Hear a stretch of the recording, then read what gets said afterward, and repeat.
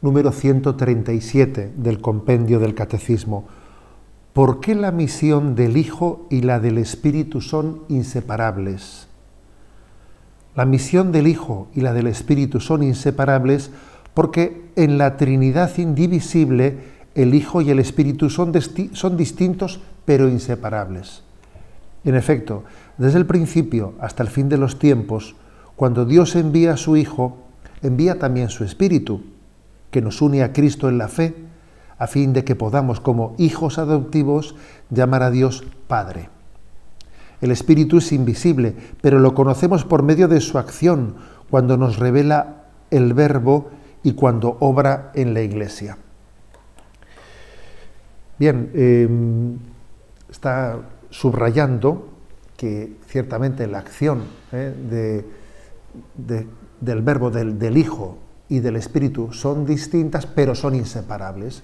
Y es lo que vamos a subrayar ¿no? en la explicación de este punto 137.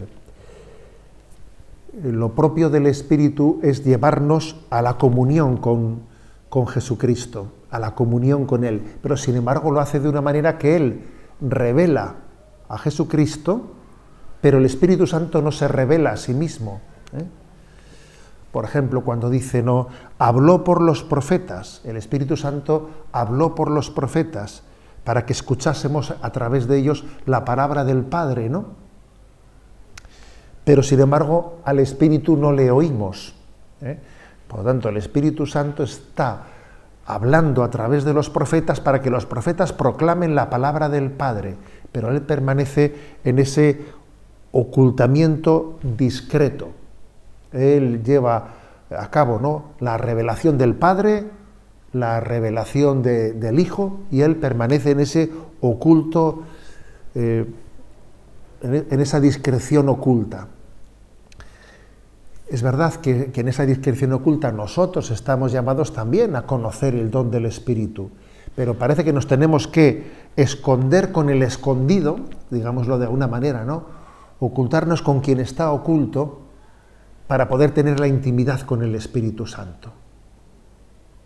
Él, en su forma de proceder ha procedido de esa manera tan discreta. Ayuda a que el Padre, a que la voz del Padre se proclame, a que la de Jesucristo también se revele ante el mundo. Y Él permanece eh, oculto, pidiendo que nosotros, para poder tener intimidad con Él, pues eh, nos adentremos dentro de nosotros y en nuestro interior descubramos que habita y mora dentro de nosotros, pero solamente no entrando en nuestro interior, buceando dentro del corazón y del alma del hombre es como podemos eh, descubrir la presencia oculta, discreta, pero, pero patente ¿no? y palpable el don del Espíritu Santo.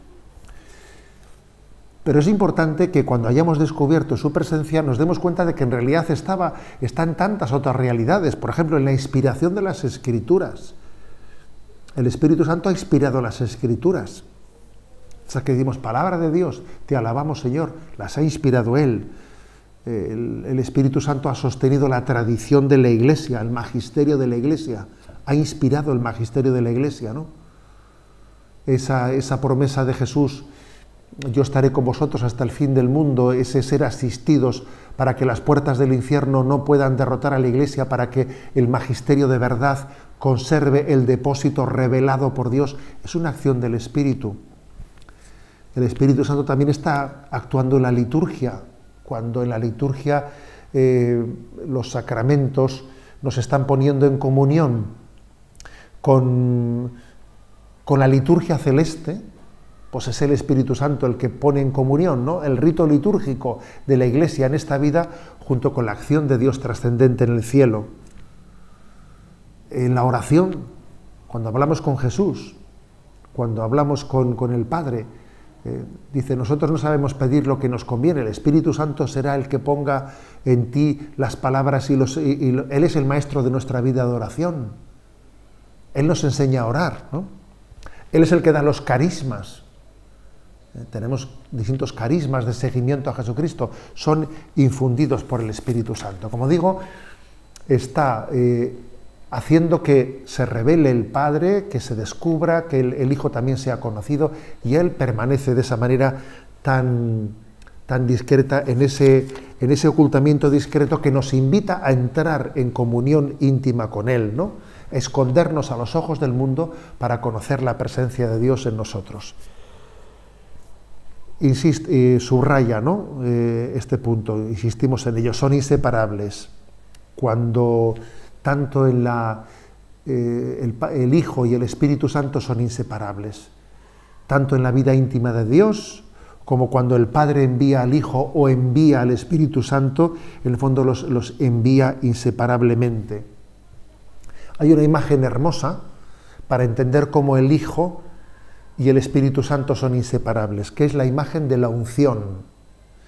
El aceite es derramado encima de la piel y llega un momento en que el aceite es absorbido por la piel y casi no se puede distinguir lo que es aceite cuando ya ha sido, cuando ya ha penetrado, ha empapado la piel, ¿no?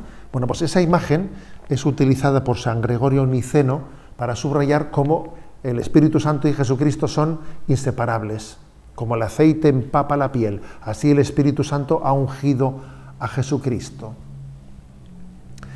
Eh, en ese Jesucristo que nosotros conocemos en los Evangelios está empapado el Espíritu Santo eh, de Él. El Espíritu Santo ha empapado, ha ungido plenamente a ese Jesucristo, ¿no? con el que nosotros tenemos ese, ese, contacto y recibimos su palabra. Es palabra de vida vivificada por el, por el Espíritu Santo, es movido por el Espíritu Santo, plenamente ungido, penetrado por Él, ¿no? es el habitado por el Espíritu Santo.